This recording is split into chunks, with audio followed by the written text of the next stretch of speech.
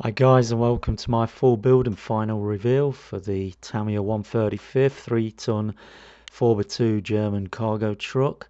This will be one of three models featuring in my diorama build uh, as my entry into the Revell fan club Facebook page. LOVEWAFFE group build.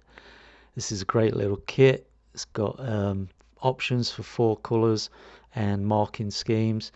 Uh, the only thing uh, I wish this kit would add uh, is a detailed engine and the option to have the engine hood covers open to expose that engine. But aside, it's great kit, could be used in a lot of dioramic scenes. So let's get on with the build. So I started off pulling parts off sprues to do sub-assemblies. This is the chassis. There's the leaf springs and the exhaust system. They're stuck in place now onto the chassis then onto the transmission and steering. That's all in place there. I then masked all the windscreens and the uh, windows for the doors. There they are with the masks in place.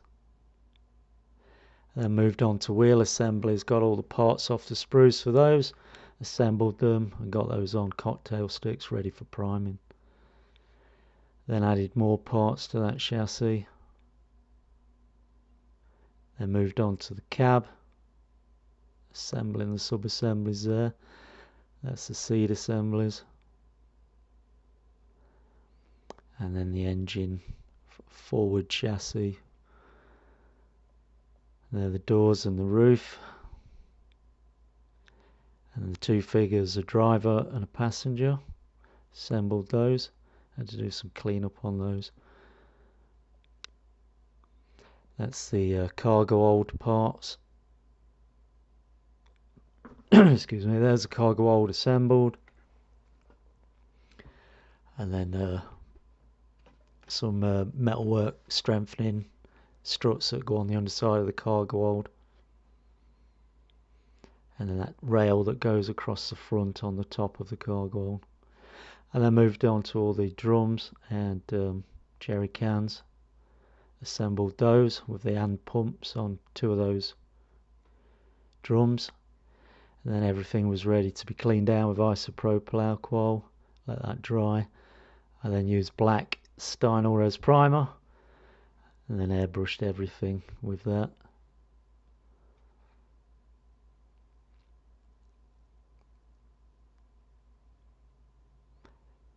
And when that was dry, I used a Model Masters Gunship Grey, which I think is a nice colour. Airbrush that onto the model.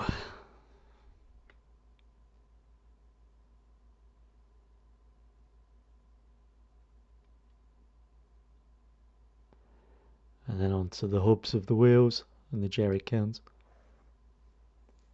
I then started detail painting the interior of the uh, cab.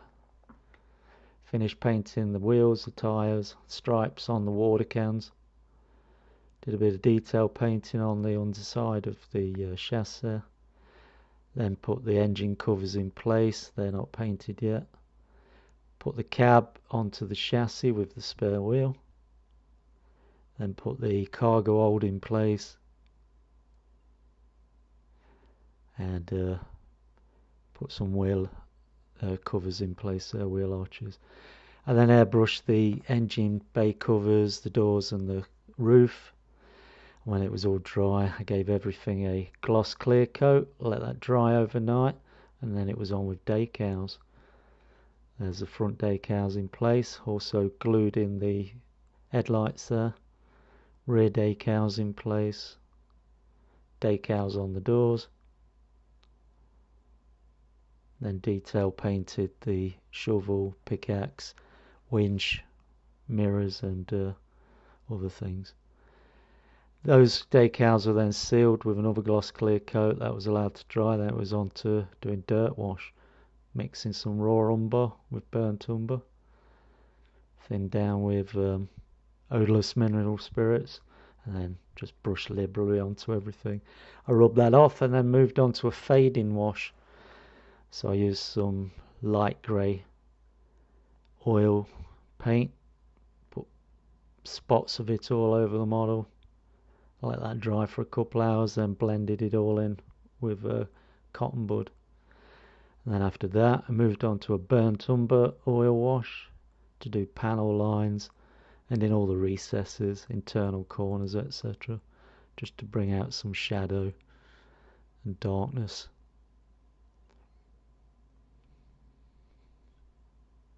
That's the underside. And the wheels. There are the two doors and the roof of the cab.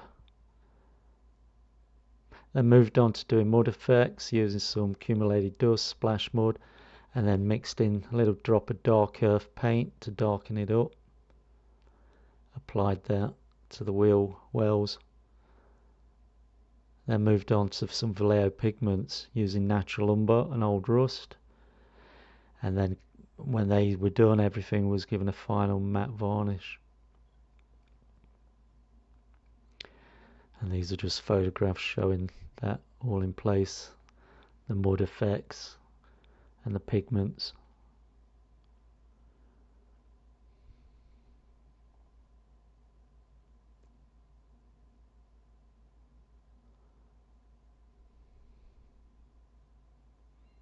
There's all the wheels, doors, roof of the cab. Wheels are in place there now. Looking dirty. I just dropped in a couple of items there that I scratch built, the ladder, a couple of pallets. The wheel, the spare wheel comes with the kit. There's the door and the roof of the cab. Finished painting. This is a jerry can assembler that goes underneath the cargo hold.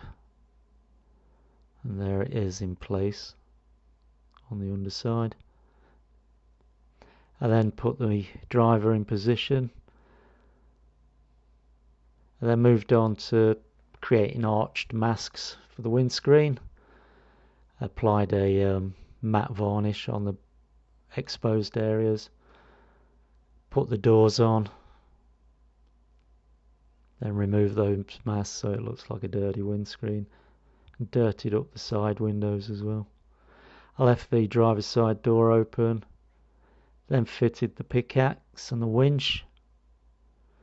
And the shovel there on the driver's side.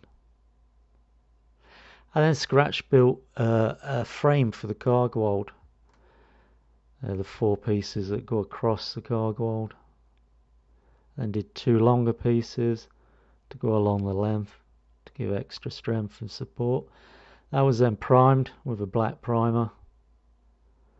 I then used the gunship grey for the frame and then give it a, gave it a gloss clear coat to seal the paintwork in.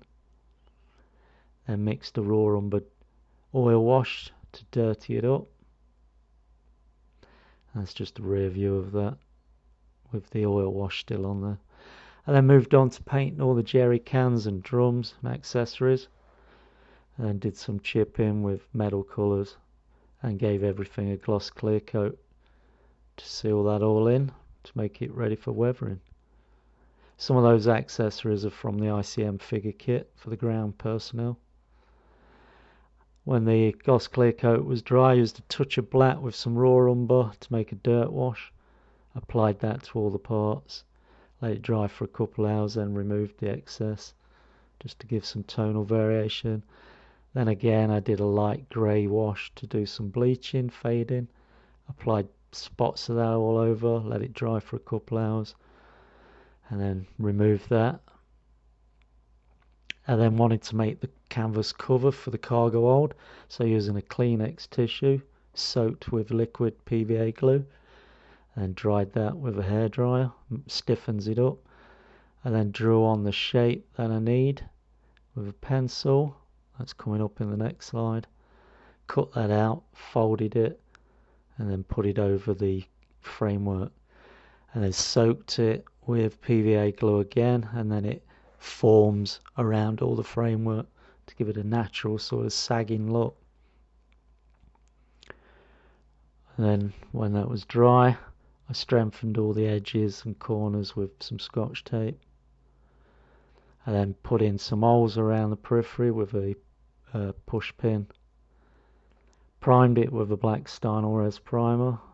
And then toned down some olive drab with a bit of white and airbrush that onto the canvas. And then used some twine to go round through those holes I ordered 0.5 millimeter twine but when it came it was 1 millimeter. Looks a little too thick for my liking. I tried separating the two separate twines in that but it frayed and looked a mess.